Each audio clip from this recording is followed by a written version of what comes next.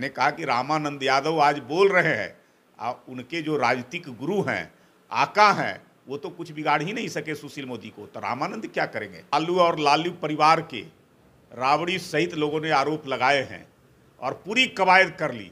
उसके बावजूद कुछ नहीं निकला। नमस्कार आप देख रहे हैं लाइव सिटीज़ में हूँ आपके स्ताश शिवम। बिहार में महागठबंधन की सरकार बनते ही मंत्री रामानंद यादव ने अब यह कह दिया है कि सुशील मोदी की संपत्ति की जाँच होनी चाहिए। ऐसे में इस वक्त हमारे साथ बीजेपी के प्रवक्ता प्रेम रंजन पटेल हम उनसे बात करेंगे।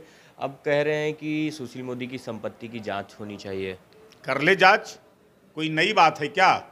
कई बार लालू और लालू परिवार के रावड़ी सहित लोगों ने आरोप लगाए हैं और पूरी कवायद कर ली। उसके बावजूद कुछ नहीं निकला। और सुशील मोदी सुचिता और पारदर्शिता के प्रतीक हैं। लंबे समय से राजनीतिक और सामाजिक जीवन में रहे हैं। उनके ऊपर किसी प्रकार का आरोप नहीं लगा है। सुशील मोदी लालू यादव को चारा घोटाले में लंबी लड़ाई लड़ करके उनको जेल पहुँचाने का काम किया। अगर उनके ऊपर जो है से कुछ मामले बनते तो ये लोग छोड़ने वाले नहीं होते जो ऐसे इसलिए सुशील मोदी के ऊपर केवल बोलना, आरोप लगाना और आरोप लगाने से कोई बातें नहीं बन जाती है या सिद्ध हो जाती है, आज तक कोई सिद्ध नहीं कर सका। मैंने कहा कि रामानंद यादव आज बोल रहे हैं और उनके जो राजनीतिक गुरु हैं, आका हैं, वो तो कुछ बिगाड़ ही नहीं सके सुशील मोदी को। तो रामानंद क्या करेंगे? सुरेंद्र यादव मंत्री हैं, आपत्तिजनक शब्दों का प्रयोग कर रहे हैं। भाई, एक तो साथ में बैठाते हैं प्रेस कॉन्फ्रेंस में, और उसके बाद अभद्र भाषा का प्रयोग करते हैं, आपत्तिजनक बातें, असंसदीय बातें। पूरी तरह से जो है से संस्कार झलकता है। जो पार्टी का पुराना संस्कार था, वो संस्कार सामने आ गया। जिस प्रकार के मंत्री बनाए हैं तो वही संस्कार न रहेगा। ये पुराना इतिहास लोगों को पता चल जाएगा। 2005 प्लेबैक होगा। 2005 से पहले की स्थिति बिहार की क्या थी? फिर वही लोग आकर करके बैठ गए सरकार में, सत्ता में मंत्री बन गए हैं। असहाय, कमज़ोर तबके के लोग, मजबूर, दबे, कुचले, शोषित, पिछड़े, अति पिछड़े, दलित, ये सब तो आज जो है से दहशत में है। क्या होगा अब?